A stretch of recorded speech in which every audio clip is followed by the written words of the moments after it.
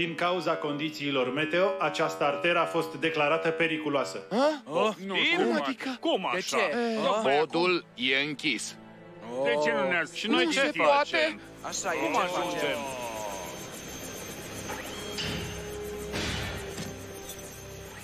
Ranforsăm aceste șine, apoi verificăm integritatea structurală a grinzilor transversale.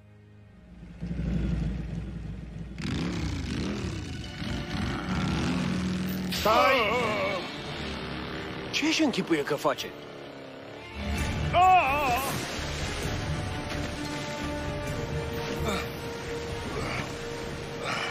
Heatwave, folosește Nu-i prima mea operațiune de salvare. Nu pot ajunge la el. Dar eu pot.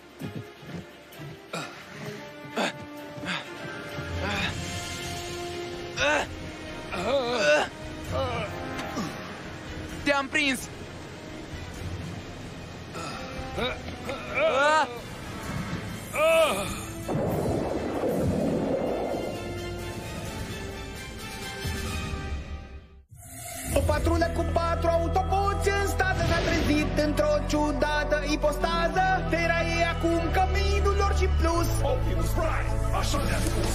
Pe pământeni să-i ajutați și apărați. Trăiți în lumea lor. Și trebuie respectați. Doar câțiva eroi vă vor fi aliați. Pentru toți ceilalți rămâneți echizați Salvatori, haideți să pornim. E pericol, deci să intervenim. Salvatori, haideți să pornim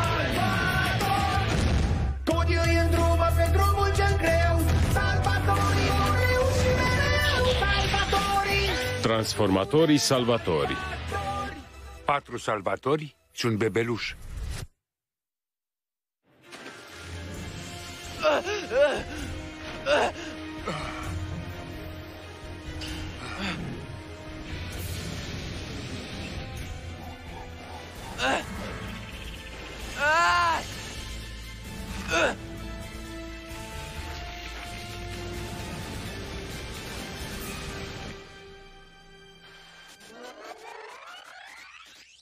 Aceasta a fost clipa mea de inspirație. Dacă acel om ar fi condus un vehicul amfibiu, nu ar fi fost nevoie să fie salvat. Sau ar fi putut să nu sară de pe pod. Dar atunci tata nu ar fi avut un motiv să inventeze această super turbocicletă. Vezi? Mod terestru, mod acvatic. O voi proba pe circuitul de testare, Doc. O, îmi pare rău, Cody, am deja pe cineva pentru asta. Dar îți mulțumesc că mi-ai încălzit scaunul. Cade? În mâinile cui poți lăsa o asemenea tehnologie? Doc știe că sunt responsabil și matur. Și răbdător, sper. Prototipul mai are nevoie de ajustări înainte de a porni sau a ploti. Eu și Frankie vom merge pe continent să facem rost de piese. Atunci vom vorbi mai târziu. Iar tu, pregătește-te pentru o aventură grozavă. Fără supărare, Doc, dar sunt mai responsabil decât Cade. Cred că exact asta ai spus chiar înainte de a-ți împrumuta tunul meu nuclear cu apă. Măcar a făcut curățenie în oraș, tată. Dar asta a fost acum un an. Acum sunt mult mai matur. Tată, poate Cody ne va dovedi că e responsabil având grijă de celălalt prototip cât noi suntem plecați. E o idee excelentă. ADN-ul inimii mele. Îmi poți mulțumi mai târziu. Fă cunoștință cu cea mai recentă sau aș putea spune cu nou născuta mea creație, Robo Bebelușul. Wow!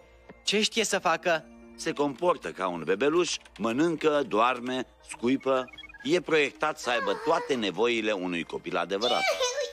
Dar de ce? Avem o creșă plină de bebeluși care fac asta. Dar bebelușii adevărați nu știu lua notițe.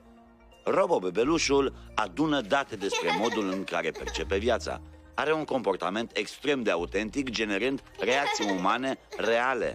Dacă ai grijă câteva ore de acest prototip, va colecta date valoroase. Acest monitor înregistrează toate semnele vitale ale bebelușului. Pulsul, respirația, tensiunea arterială. E fascinant, nu-i așa? Nu. Adică a avea grijă de un După bebe... ce Cody va avea grijă de Robo Bebeluș, vom ști cu certitudine că e suficient de responsabil pentru a testa turbocicleta, nu-i așa? Cody, să-ți dau un sfat. Robo, bebelușul are circuite complexe și e extrem de sensibil. Fii atent cu el. Nici o grijă, Doc. Nu va păți nimic cât am grijă de el. Oh, cred că tocmai a făcut ceva. Ugh. Adică... Are un comportament foarte autentic. Iu, E un ce? un robo bebeluș, iar eu trebuie să... Adică noi vom avea grijă de el. Oh. Sigur, mă puteam descurca și singur, dar am decis să vă las și pe voi să vă implicați puțin. Nu văd niciun potențial de implicare. E șansa voastră de a învăța mai multe despre pământeni. Noi așa ne începem viața, complet neajutorați, având nevoie permanentă de protecție. Fiecare pământean are și un ecran? Doar Robo Bebelușul. Veți putea urmări cum acest monitor grozav colectează... uh, date grozave. Trebuie să ne comportăm ca niște roboți? Nu, Robo Bebelușul nu ne monitorizează pe noi, ci propriile lui trăiri. Activitatea asta ne-ar putea ajuta să înțelegem mai bine pământenii. Oh, mi-a zâmbit. Ai văzut? Cred că mă adoră. Boulder, nu te adoră, nu te detestă, e doar un roboțel fără scânteie. Orice ar fi, e foarte drăguț.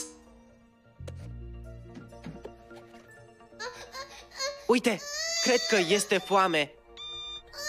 Au mai rămas niște pizza în carlinga mea. Uh, nu, mersi, Blades. Bebelușii au nevoie de lapte. Lapte! Știi unde găsim lapte? Trebuie și încălzit. Așa cred. De unde știi cum să ai grijă de acest roboțel? De la televizor. Să-l încălzesc? Imediat. Mai repede, Boulder.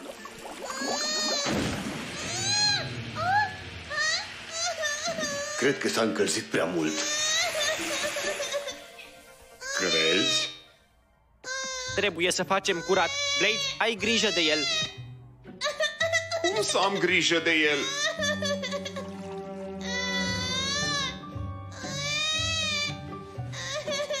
În sfârșit e liniște. Dar asta nu e mereu ceva bun. Blades, ce ai făcut? Am găsit un obiect în geantă care era lângă bebeluș. Acest manual de instrucțiuni spune că obiectul e instrument de hrănire. Asta înseamnă că e acum fericit. Îți place, nu-i așa? Chiar îți place? Chiar îți place? Oh, vrea să-mi dea și mie. Uh, Blades, ar trebui să mergi să te speli.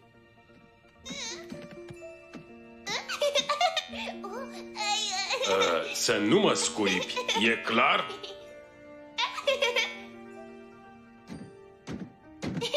Are un puls calm, ca niciodată.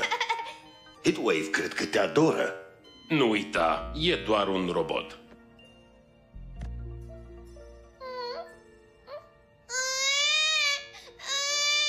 Nu înțeleg. L-am hrănit. Scutecul nu trebuie schimbat. Șșt, calmează-te. Te rog. Poate vrea să se joace.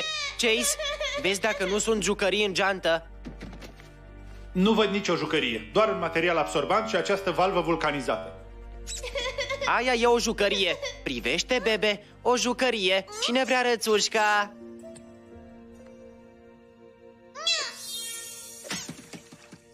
Aparent, nu bebelușul.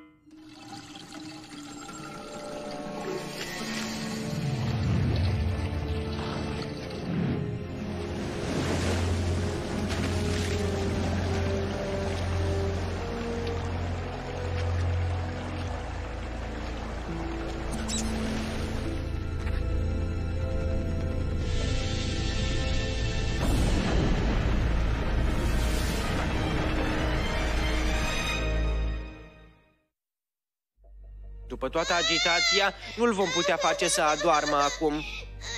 Experții spun că bebelușii reacționează la ceva numit cântec de leagăn. Unul dintre cele mai populare e Nani Nani Puișor.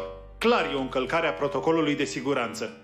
Un cântec de leagăn? Ce idee grozavă, Chase! Am extrapolat notele muzicale. Nani, nani, puișor. Și chiar dacă nu sunt de acord, nani, nani, dormiușor. Că mama te-o legăna și din gură